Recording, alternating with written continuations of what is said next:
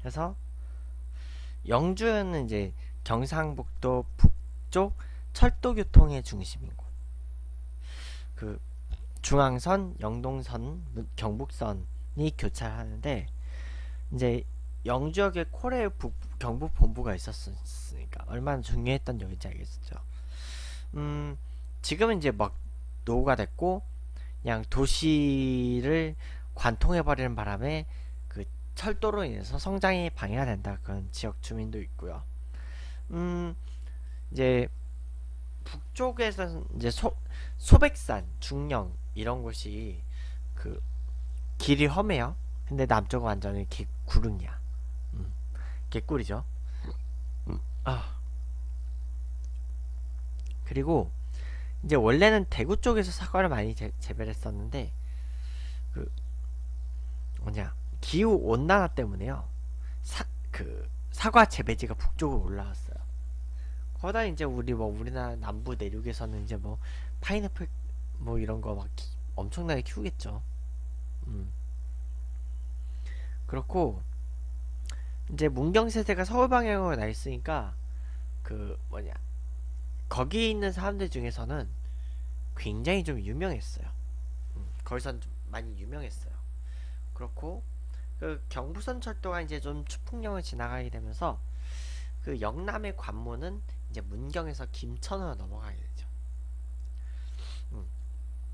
철도는 이제 좀 경북선이긴 한데 그 뭐냐 무궁화호가 하루에 세네 번 그런 김천에서 정동진의 왕독 왕복을 해요. 음. 그리고 그 이제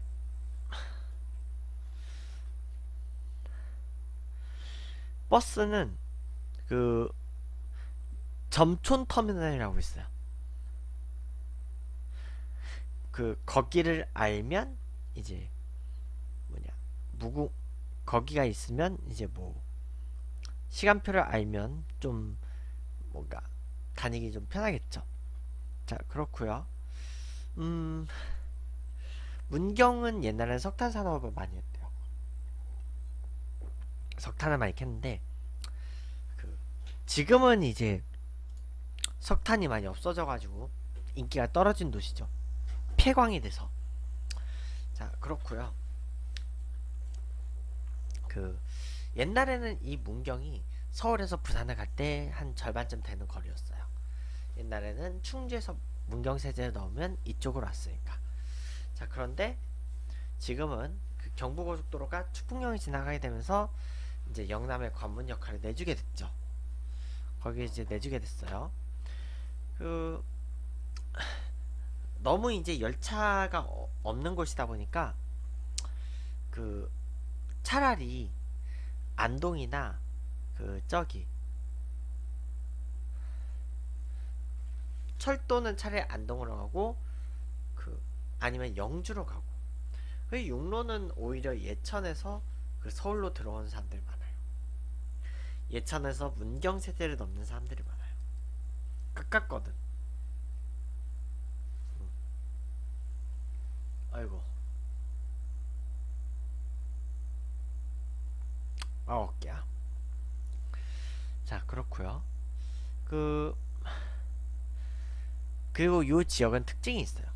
그 혹시 버스 사신 버스표 사시는 분들은요. 문경 터미널 한 장 말고 그 점촌 터미널로 시켜 그 주문을 해야 돼요. 점촌 터미널. 점촌 쪽이 바로 행정구역상으로 그 문경 세제 입구가 있는 그 뭐냐 그 면이에요. 문경 세제가 있는 면이에요. 그래서 그 점촌 함창 나들목이라고 있는데 거기는 이제 예천 군민들도 이용을 하는 것이죠. 자 그렇고 음 뭐냐 음, 수도권에 있던 그 기업들이요 이제 서울하고 교통이 좋아지니까 이제 땅값 그 유지비 이런 거 좀 줄이려고 그 이제 강남 고속버스 터미널에서 영부선도 운행을 하기 시작했죠.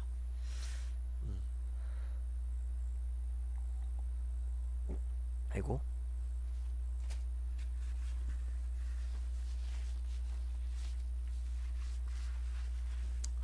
자 그리고 여기는요 이 문경이 유명해진 이유가 있어요. 2000년대에요 이제 KBS에서 그 200부작 대하 드라마 태조왕건을 여기서 찍었어요. 그 여기 그 문경 문경세제 사진을 제가 그 해드릴게요.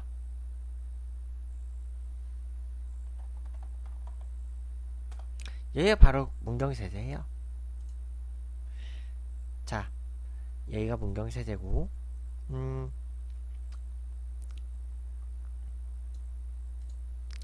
여기가 이제 문경세제.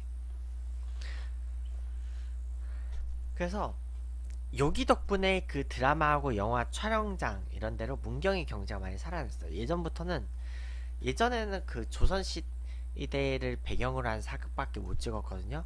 장소엽조 한국민속촌 뭐 이런 데 해가지고. 그런데 이제는요 이제 거기를 그 찍을 수가 있어요. 그 삼국시대 약간 그 그런 쪽을 이제 찍을 수 있게 된 거예요. 그 어떻게 보면 그 사극의 그 촬영 그 요소들이 확장이 된 그래서 문경이 경제적으로 어 여기 그럼 이제 촬영 세트장으로 제공을 해줄게. 와서 해. 음, 와서 촬영해. 약간 그런 분위기예요. 그리고 오미자차하고 그리고 도자기가 유명하다 보니까 1999년부터 그 찻사발 그 축제를 그 열렸다고 해요 그리고 이제 문 그 문경은요 예전에 위례신도시 그 땅에 있던 이제 국군 체육부대에 유치를 해요 그래서 2013년 9월 26일에 드디어 그 부대가 이제 위례신 도시에서 그 위례동 뭐 이쪽에서 그 문경으로 이전을 해요. 음. 세계 군인 체육대회도 있어요. 2015년에 그 세계 군인 체육대회가 있는데 2015년에 우리나라가 개최를 했는데 그때 이제 대한민국 국군이 역대 최고 성적인 4위를 기록했지만 그 우리는 대부분 이 사실을 알지 못하죠. 그 뉴스에서나 뭐 그냥 짤막하게 그 얘기를 해줬던 그런 거지. 뭐 우리가 뭐 대대적으로 월드컵처럼 막 거리 응원하고 뭐 그러, 그렇진 않았어요. 거리 거리를 응원하거나 뭐 그렇지 않았어. 음. 자 그렇고요. 그리고 출신 인물로는 견훤이 있어요. 견훤이 상주 출신으로 알고 있는데 당시에는 그 가은현이 그 상주하고 그 통합이었는데 현재는 그 가은 가은면의 그 행정구역은 문경에 있어요. 견훤하고 아자기가 그래서 문경 출신이고 공 공신님 음, 강성태 씨 공신님이 문경 출신 FX의 가수 루나가 문경 출신 그리고 독립운동가 제가 다뤘었죠. 박열. 박열 열사가 문경, 문경 출신. 슈퍼주니어 신동씨도 문경 출신이에요. 그리고 사극, 사극에 많이 나온 배우 전인아 씨하고 그리고 방송인 이휘재 씨도 여기 문경 출신이죠. 그 다음에 이어서 가는데 상주. 상주도 면적이 1284제곱킬로미터예요. 경상도의 어원, 경주하고 상주거든요. 그래서 그런 이름답게 임진왜란이 있기 전까지는요. 경상도 그 관찰사, 경상도 가명이 그 바로 문 여기 상주에 있었어요. 하지만 임진왜란이 일어났고 그래서 1601년부터 이 경상도 가명은 대구로 이전했어요.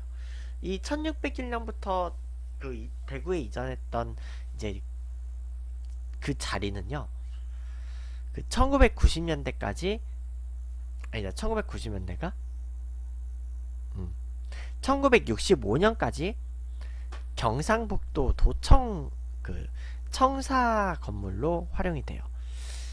하지만 이제 그 추풍령이 좀 경부고속도로가 뚫리면서 그 인구들이 막 김천, 구미, 대구, 수도, 수도 권 막 이런 데로 다 이동을 해버려요.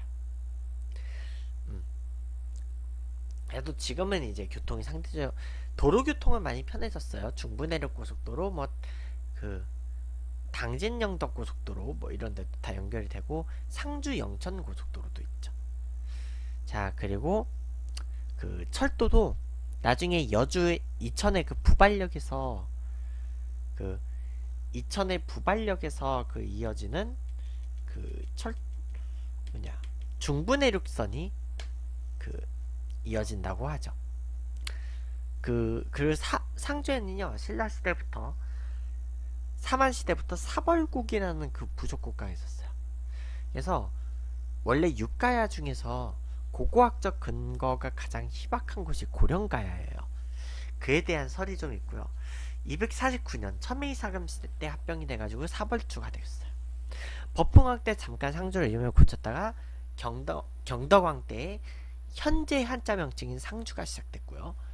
근데 혜공왕은 다시 사벌주를 벌다가 그 고려 시, 이제 삼국을 통일하고 940년 태조 23년에 다시 상주를 이름을 바꾸게 되죠. 그래서 그 상주에 있던 원래 그 가은현 원래 그 아자기와 견훤이 태어났던 그쪽은 당시엔 상주였지만 이제 현재 행정구역은 그 문경시에 들어가 있어요. 음. 그 성종시대 이제 그 12복이 그 설치될 때도 그 이제 목사가 파견이 돼요. 상주에는 목사가 파견이 됐어요. 그 원래는 그 가명이 소재된 곳이라 이제 부사가 상주를 다스려야 되는데 임진왜란 이후 가명이 가명이 그 대구로 옮기면서 상주는 이제 부에서 목으로 좀 격화가 됐어요. 상주시하고 상주군은 따로 성장하다가 이제 1995년에 그 도농 복합도시가 됐고요. 그 상주시 서부는 백두대간 서쪽에 있어요. 음. 그러니까 그 백두대간이 그 상주 구간만 약간 조금 그 동, 도 경계 동쪽에 있어요. 그리고 음, 국군 체육 부대가 문경에 있고 그리고 상무는요 축구단만 저희 상주에 축구장에 있기 때문에 거기를 연고지로 하고 있어요. 음. 거기까지 있고요. 곶감이 유명해가지고 아예 그 가로수 나무들이 다 감나무예요.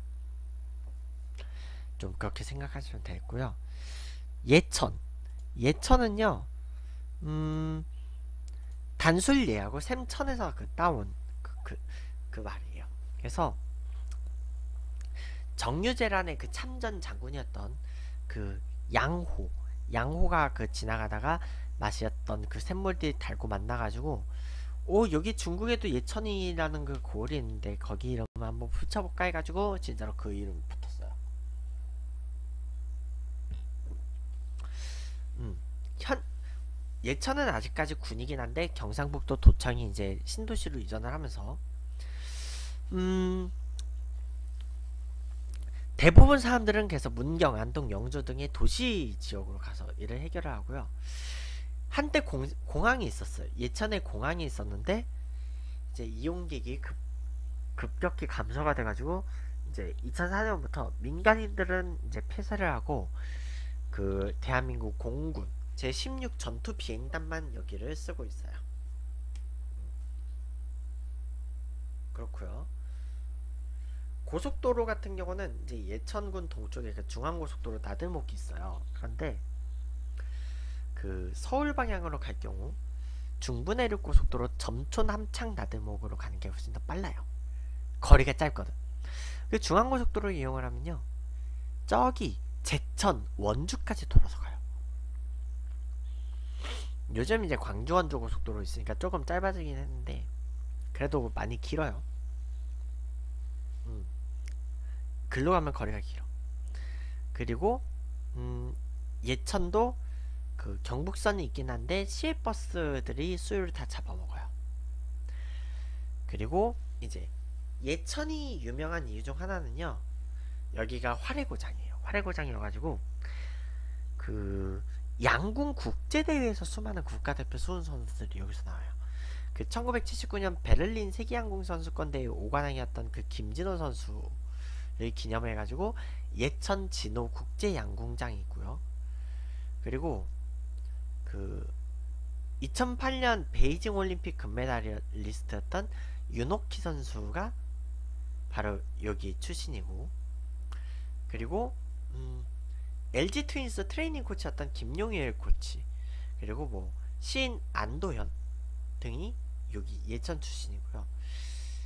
음, 하나회를 후원했던 그 유학성 전 예비역 육군 대장이 여기 출신이고요. 그 대구 지하철 참사 방화범인 김대한 씨도 바로 여기 예천 출신이에요. 그렇다고 하죠.